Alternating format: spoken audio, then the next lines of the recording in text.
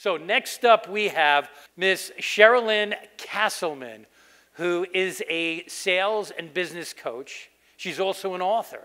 And she authored What's in the Cards? Yes.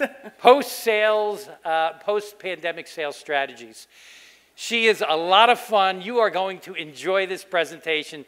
So please let me introduce Cherilynn. Cherilynn, come on up.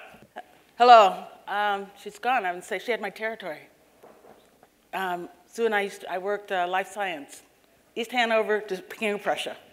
Um, so I've been in sales since before Girl Scout cookies were 50 cents a box. So for those of you sitting there counting on your fingers, that's a long time.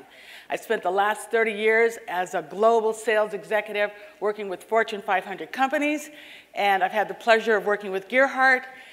And I am here today to talk to you about how to multiply your bottom line. But I want to start by telling you a little bit about something that one of my mentors told me. Bill Green, the former CEO of Accenture, said, Cherilynn, if you criticize people, you raise their defensiveness, but if you challenge people, you raise their game. So I'm here to challenge each and every one of you today about how to recruit, retain, and elevate your sales team by adding diversity. And I'm going to start by just putting it out here and telling you I know what it's like to be the only woman of color in the room. Look around. Okay? That's what my entire career has been.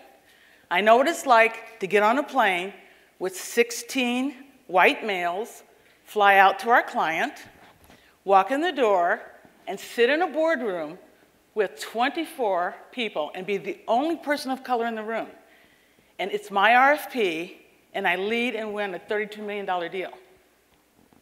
So I've been in sales a long time, and I started my practice coaching and training to help bring women of color to the table of their dreams. And these women want to be sales leaders. They want to be at the President's Club.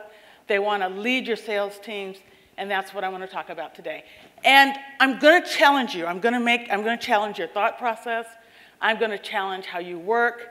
I'm going to challenge how you lead. And the only way I can do that is by engaging with you. So if you have a question, don't wait to the end. Challenge me, because that's how I learn. So my cha first challenge for you is if I make you uncomfortable or I say something, just, just challenge me, and Mike or somebody will get you a microphone, and we can talk about it. Is that fair?